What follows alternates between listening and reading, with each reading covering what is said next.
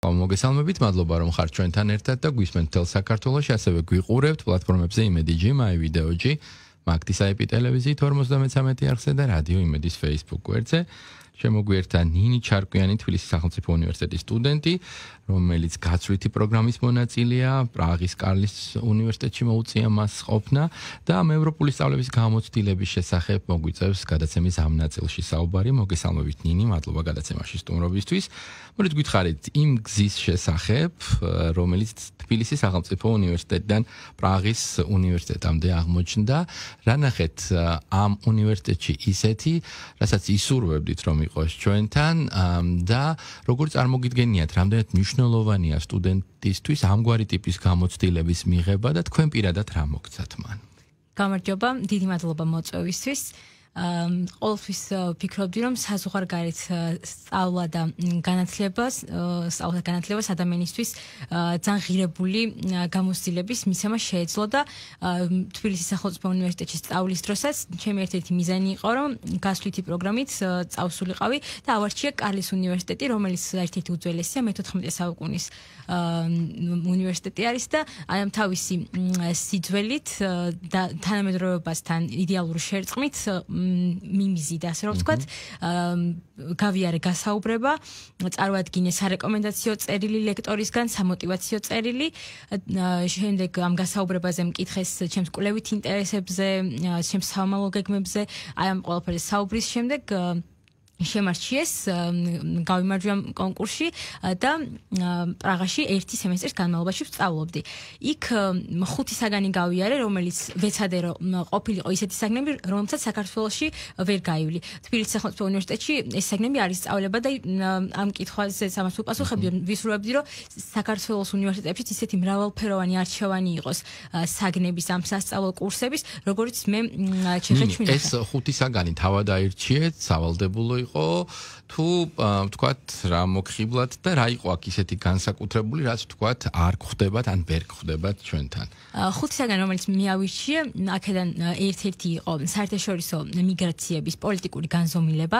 მიგრაციებთან დაკავშირებული საგანი არ არის თბილისის სახელმწიფო უნივერსიტეტში და ამ საგამემ დიდი საბეჭდილება მოახდინა ჩემზე რომ საბაკალავრო ნაშრომის დაწერასაც აი მიმართულებით ვაპირებ მიგრაციების და ტერორიზმის ურთიერთმიმართება ამერიკის საგარეო პოლიტიკის კონტექსში სავარაუდოდ ასევე გავია ამერიკის საგარეო პოლიტიკა, ასევე თბილისის სახელმწიფო უნივერსიტეტში სწავლება და კიდევ ერთხელ დავარწმუნდი იმაში, რომ თბილისის სახელმწიფო უნივერსიტეტის საერთაშორისო ურთიერთობის სკოლაში საკმაოდ მაღალ ხარისხს გვთავაზობს.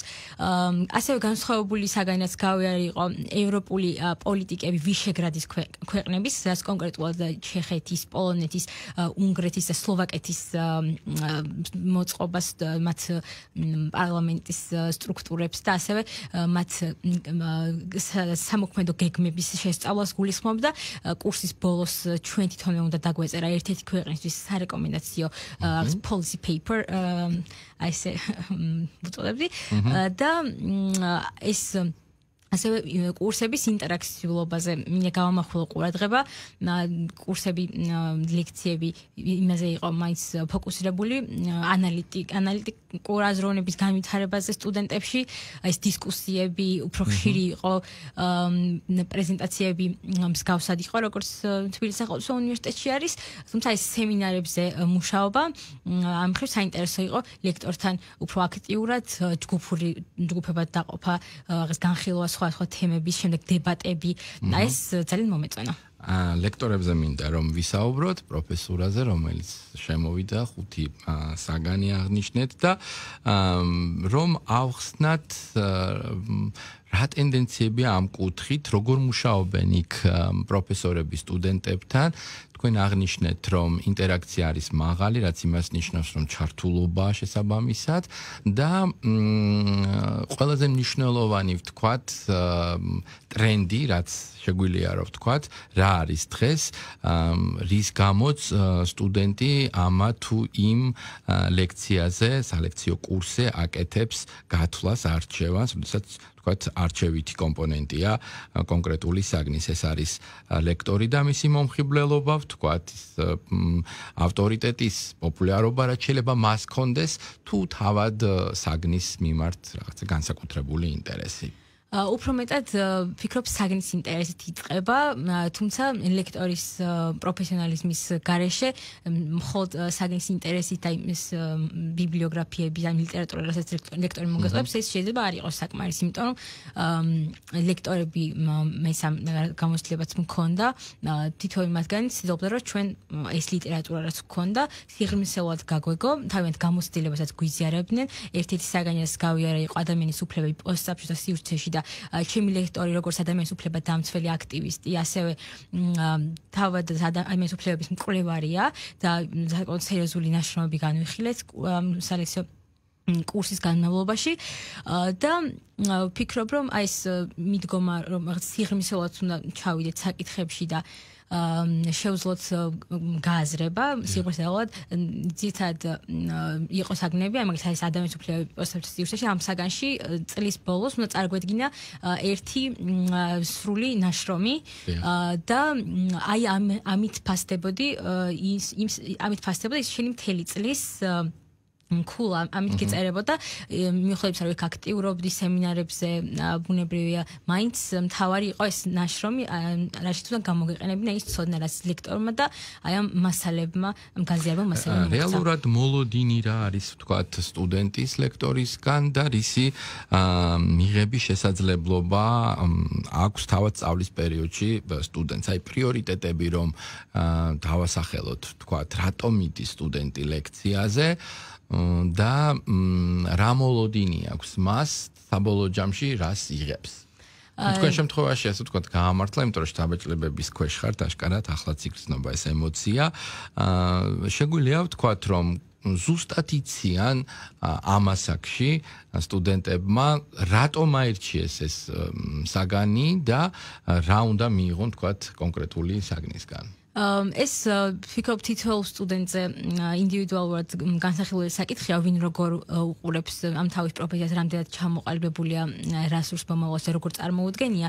და თვითონ აი ამ სალექციო კურსებზე თავარი, რასაც მე ვფიქრობ სტუდენტები ხშირად ელოდებიან, არის ზუსტად იმ გამოცდილების გაზიარება, რაც ლექტორებს აქვთ და არა მხოლოდ ის რის დაკითხვაც ისედაც ციგნებში შესაძლებელია. აი ეს შერწყმა უნდა იყოს ამ თეორიული და პრაქტიკული პრაქტიკული ცოდნის და დიახ, არა მხოლოდ შეიძლება ეს ეს პრაქტიკული გამოცდილებას არა მხოლოდ საუბრის შეიძლება იყოს გამოხატული, არამედ სიარულით, თუნდაც სხვა სხვა სამუშაო შეხვედრებით მუზეუმებში თუნდაც ან უშუალოდ დაწესებულებებში მაგალითად სულ იურიდიულს ეხება საქმე შეიძლება სასამართლოში იყოს ისე რაც პრაქტიკულად ნახავენ იმასაც რასაც თეორიულად სწავლობენ სტუდენტები და ეს ეხმარებათ და გვეხმარება რომ წარმოვიდგინოთ მომავალში რამდენ გვინდა რომ ამ პროფესიას თავი მივუძღვნათ.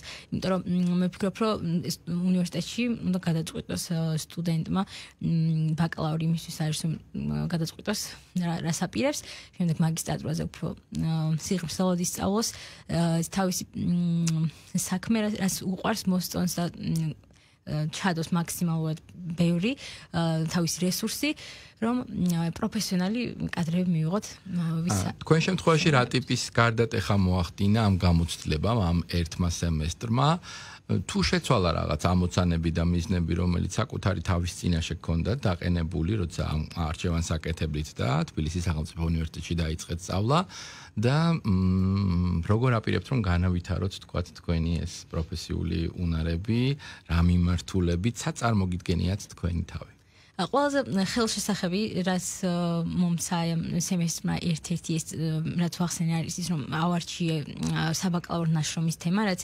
საკმაოდ რთულია ხოლმე ამის მოფიქრება. ახლა ბოლო სემესტრი მექნება ამის ბამთავრებ მეოთხე კურს მაგისტრატურის გაგრძელებას საზღვარგარეთ ვაპირებ მაგრამ ვფიქრობ ამისთვის მომავალ წელს მოვემზადები სტიპენდიის მოსაპოვებლად ისევ საერთაშორისო ურთიერთობების მიმართულებით და განსაკუთრებით საინტერესო იყო გამოსლება რაც მიიღე და შთაბეჭდილებები რაც დამიტოვა ნატოს შტაბ-ბინაში ვიზიტმა ბრიუსელში იქ მე ვიყავი სამგზავროდ იმიტომ რომ ევროპაში ერთ-ერთი ეს რაც ყველაზე კარგად დამახსოვრდა ის სამგზავრო გამოცდილებებია.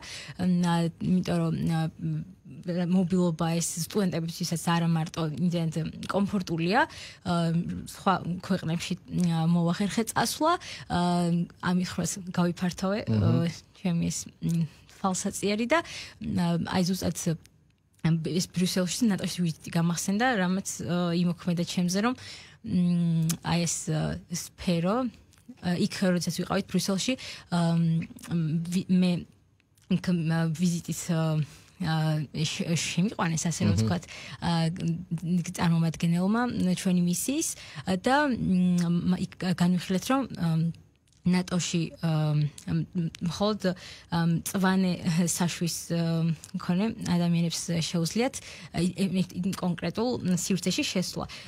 და ეს წვანე საშვი აქვს ნატოს წევრ ქვეყნებს და ამ დროს ვიფიქრე რომ მე აქ დავბრუნდები და მწვანე საშვით. რა მაგარია. იმისთვის რომ მწვანე საშვი და ზოგადად მწვანე, ასე ვთქვათ, გზა და მომავალი გქონდეთ. როგორ ფიქრობთ, რა არის გასაკეთებელი დღეს თანამედროვე ეპოქაში სტუდენტმა რომ გათვალოს ეფექტიანი შედეგი თავისი მომავლის კარიერის სწორი დაგეგმვის ერთის მხრივ თქვათ გარკვეული უნარები, რომელიც შეიძლება მას აქვს და მეორეს მხრივ ცოდნის მიღება ამა თუ იმ უნივერსიტეტთან თანამშრომლობით საბოლოო ჯამში, რასაც ჩვენ დღეს ევროპულ განათლებას ვეძახით. თქვენი აზრით რა არის ეს, რომ გვითხრათ და თანამედროვე სტუდენტს, რომელიც ახლა გვისმენს ან აბიტურიენტს, რომელიც უნდა გახდეს სტუდენტი, რას ურჩევდით თქვენი ამ გამოცდილებით?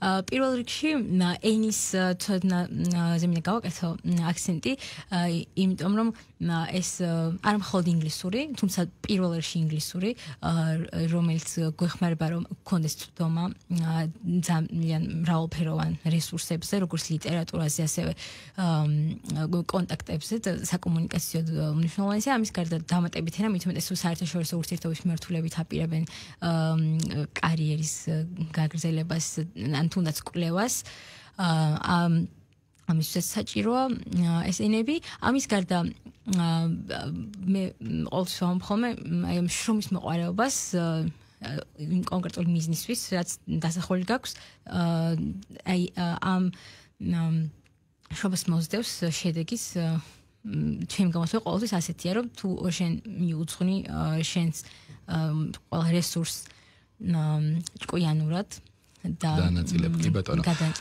თუ შენს თქვათ სამეგობროს გადავავლებთ თვალს შენს მეგობრებს ჯგუფელებს.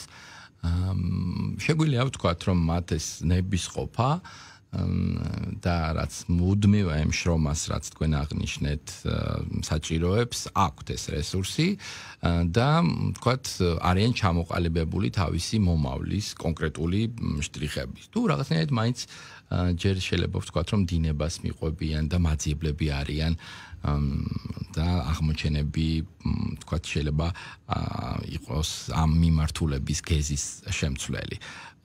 რა თქვათ თავარი კომპონენტები არსებობს დღეს ამ თაობაში მიზნის დასახვის და აი ამ მიზნამდე მისვლის.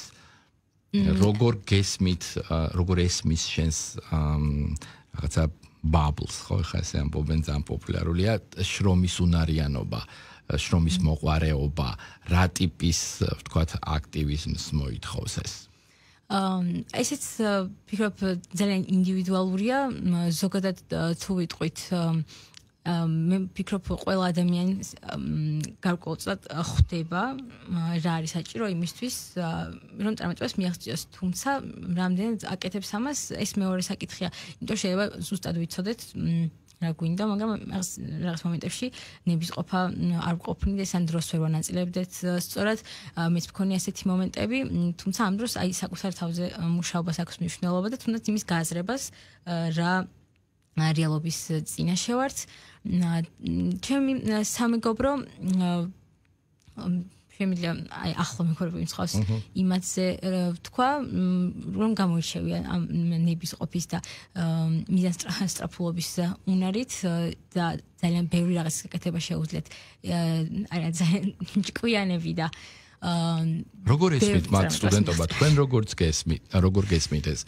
ეს არის მხოლოდ სწავლა სწავლა და თქვათ რაღაცა თელი დრო და ენერგია მიდის აქ თუ ასევე სტუდენტობა არის ძალიან მნიშვნელოვანი პერიოდი და დრო იმისთვის რომ თქვათ რაღაცა ურთიერთობები დაალაგო გამოიყენო ეს წლები სათანადოდ მიიღო თქვათ სიამოვნება ამ ურთიერთობებით. როგორ შეიძლება ეს ერთმანეთს დააკავშირო და როდესაც უკან დაბრუნდით თქვათ ევროპიდან თქვენ ამ კუთხით ან თავისუფალი დროის გამოყენების თქვათ რა შესაძლებლობები იყო იქ ისეთი რამაც შტაბეჭლება დატოვა თქვენში? თავისუფალი დროის გამოყენების მაგალითად მოგზაურობა რაც ვახსენე? ძალიან მარტივია უცებ იყიდო ბილეთები საკმაოდ ხელმისაწვდომ ფასად გაფრინდეს რა სხვა ქვეყანაში. ამის გარდა არის სამაგიდო თამაშების შეკრებები წვეულებები. მან ბევრი ისეთი რამეა რისი დროც იქ სტუდენტებს აქვთ რა თქმა უნდა ისინი მუშაობენ სწავლის პარალელურად თუმცა უფრო მეტად დადებითი განწყობა იქ ისმოდა ხოლმე სტუდენტებში და საქართველოში კი ის არ არის რომ მხოლოდ სწავლაზე არიან ორიენტირებული სტუდენტები მაგრამ ეს ძიმე სოციალური ფენი სოციალური ფონი სტუდენტურ ცხოვრებას მიყვება საკმაოდ ზაფრად და ამის გამო სწავლით სწავლით და მუშაობით უფრო შემოიფარგლება სტუდენტების ცხოვრება ვიდრე განტვირთვა და გან ხა ეს დასვენება. აა რა თქმა უნდა დასვენება საჭიროა, თუმცა ამის ფუფუნება, ასე ვთქვათ, ჩვენ თაობაში და საქართველოში ისე არ არის. როგორც ასე ხოდი იმ სტუდენტებს, რომლებიც ფიქრობენ, რომ გასრით პროგრამაში მიიღონ მონაწილეობა, აუცილებელია ეს მათ ცხოვრებაში და რას მოუტანთ? შეცვლის მათ გაფართოებს მათ თვალსაწიერს გააცნობს უამრავ საერთაშორისო მეგობარს ბევრი ქვეყნიდან. მე მაგასაც ყველაზე მეტ პოლონელებს დაუმეგობრდი საქართველოსიც დავპატიჟე და აი ეს ურთიერთობები პატარავდება სოფლიო შენთვის როცა ამდენ ადამიანს იცნობ. სოფლიო მოქალაქე ხდები რეალურად დანისრდები კეთილი ნინი მიხარია წარმატებები შენი დარწმუნებული ვარ რომ კიდევ სხვა არაერთი რეგალიით და სტატუსით მოგიწევს შენ მედიის წინაშე გამოჩენა იმიტომ რომ ხარ მიზან დასახული ადამიანი იმიტომ რომ ხარ ჭკვიანი და ზუსტად იცი როგორ მიიღო სიამოვნება შრომით და იმედი დავიტოვოთ რომ ეს შენი შრომა სათანადოდ დაფასდება. დიდი მადლობა. ნინი ჩარკვიანი, ჩვენი არჩინებული სტუდენტი თბილისის სახელმწიფო უნივერსიტეტიდან, რომელმაც გაცვლით პროგრამაში მიიღო მონაწილეობა და თავის გამოცდილებას და ემოციას გვიზიარებდა. მადლობა ყურადღებისთვის.